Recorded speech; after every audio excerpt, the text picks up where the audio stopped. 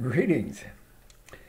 This is the first uh, full week of Lent, and uh, Sunday will be the first Sunday in Lent, and so I have decided to do a series on uh, the meaning and message of the cross.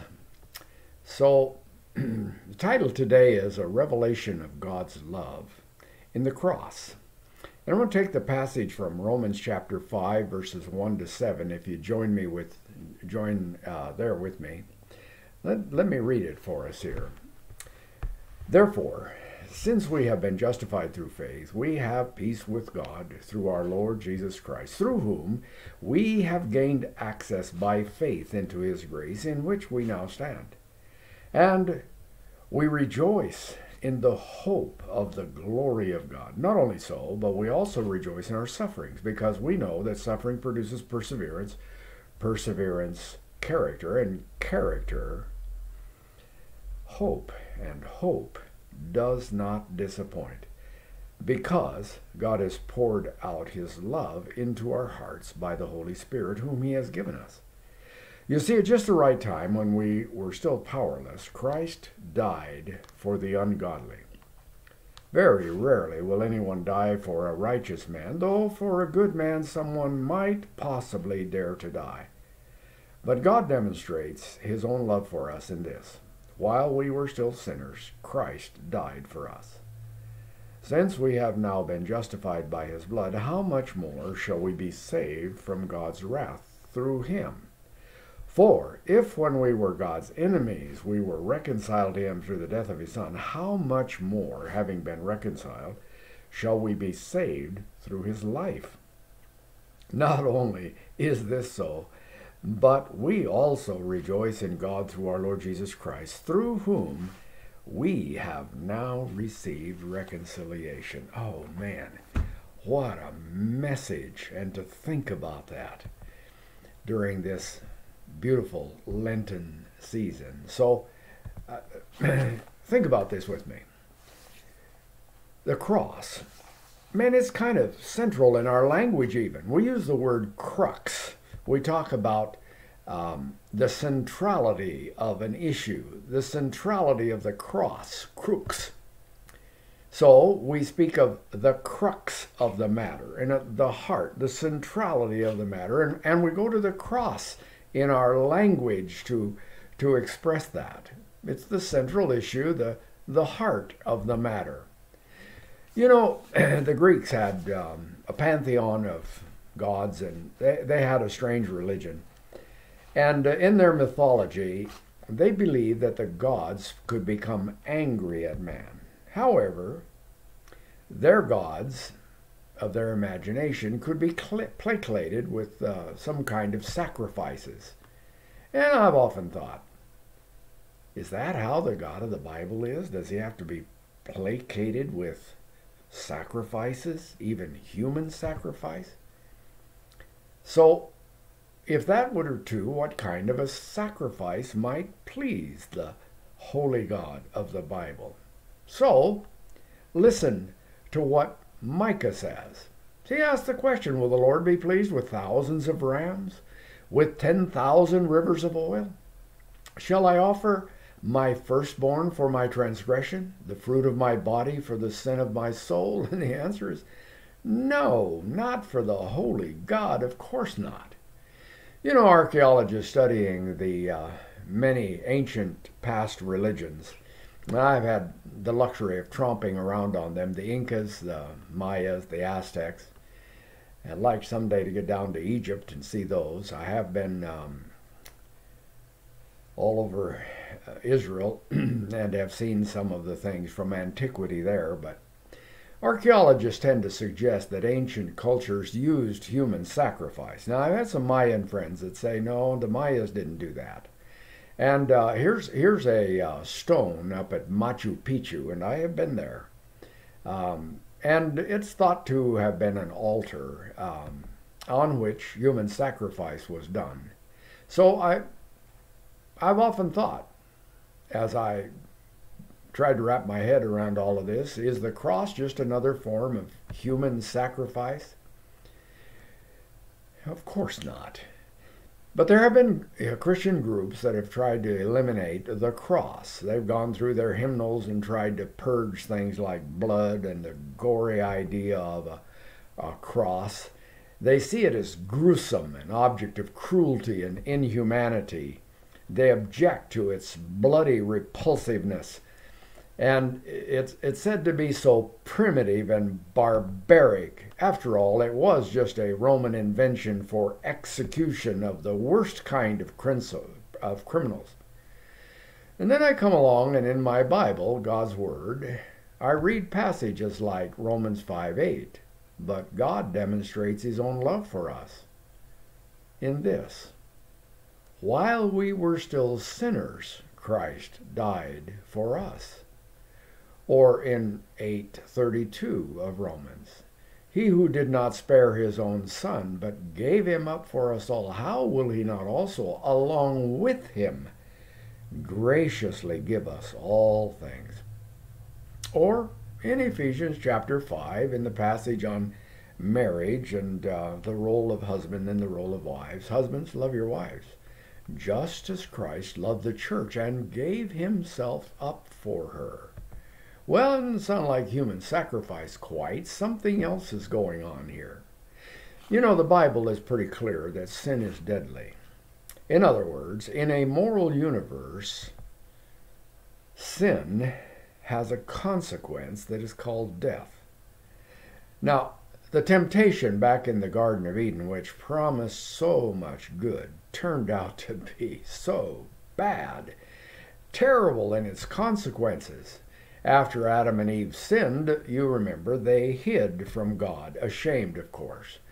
And the sentence of judgment was banishment from the Garden of Eden and from the presence of God, which resulted in spiritual death. So the last thing we read about Adam was, and he died. So you see, separation from the source of life is what leads to death. So as children of Abraham, because we're all born in Abraham's image, image Abraham, I mean, uh, excuse me, Adam. Adam had sons and daughters in his own image.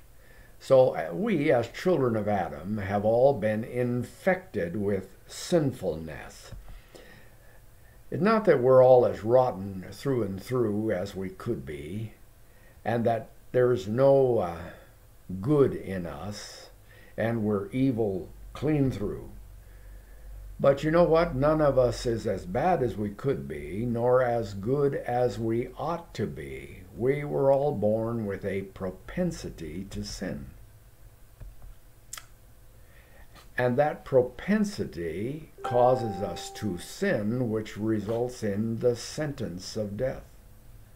The Bible describes our plot, says, As for you, you were dead in your transgressions and sin. Now, that's a spiritual deadness, of course that ultimately results in a physical de- de- deadness and an eternal separation from God.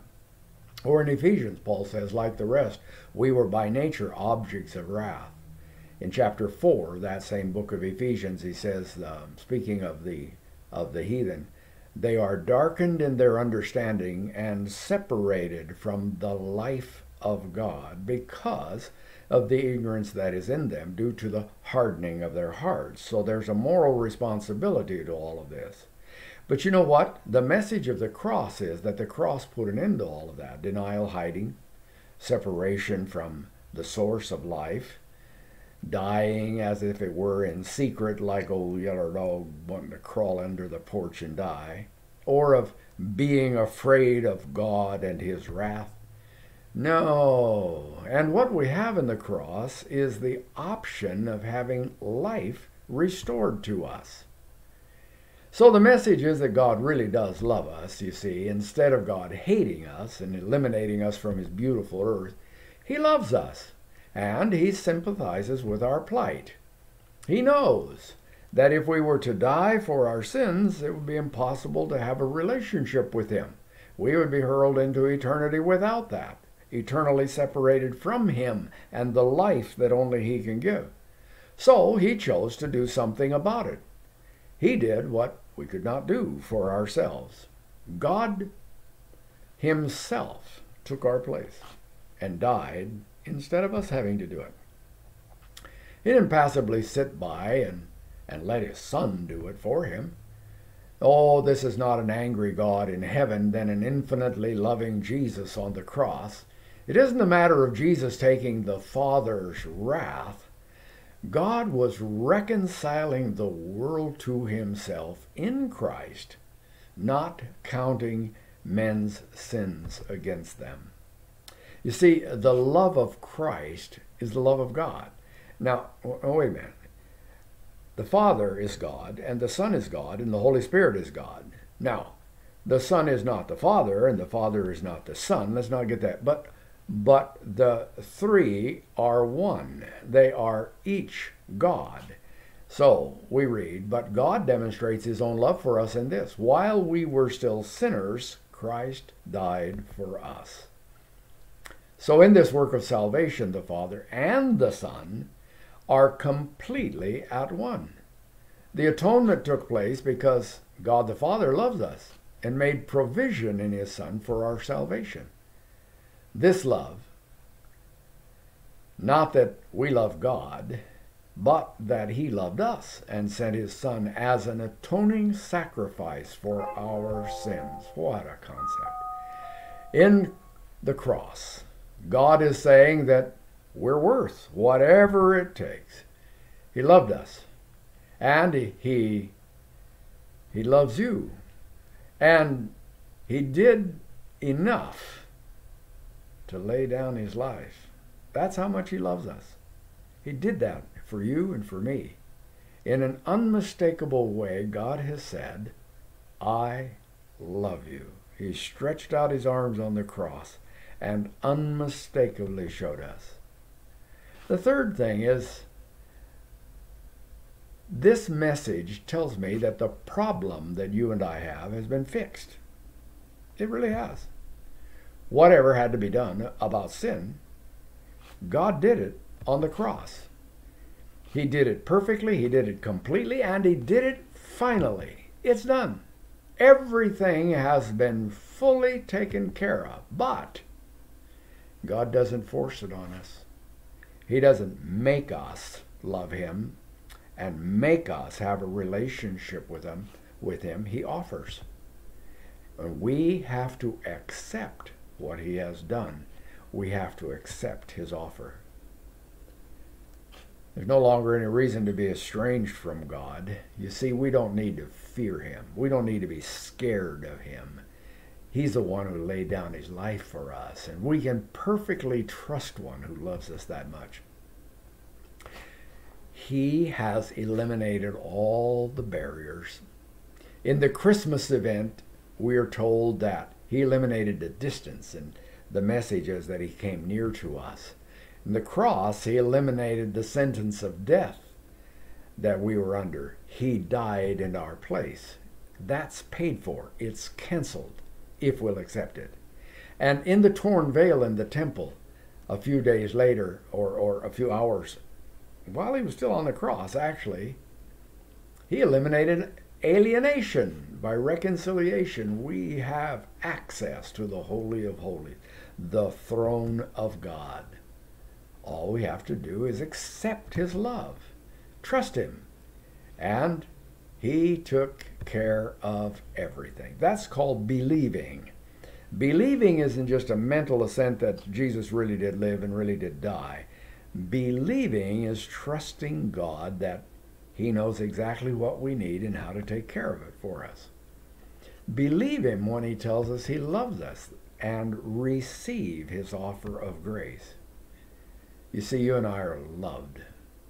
And we then, now, can love Him in return. That's what we really ought to do. That's the normal, natural response. So, Here's the deal since God loves us personally, we need to respond personally. Since God has come all the way to us, we need to turn around and come to Him. And since God offers to forgive, we need to accept His offer. And since God has made it possible, we can have a personal relationship with Him, with God, in Christ Jesus. What a concept. Isn't that beautiful? I'm glad Paul penned those words for us. Pray with me, would you, Father? What an offer. And maybe we haven't seen it quite this way, but today we would receive, we would accept, we would be believers that Jesus Christ really does love us and really did die for us, not just for humanity in general, but for each of us personally. And we accept that. And when you offer forgiveness, we accept that. And we're going to claim to be forgiven. Thank you. In Jesus' wonderful name. Amen. Amen. God bless you. Thanks for joining me.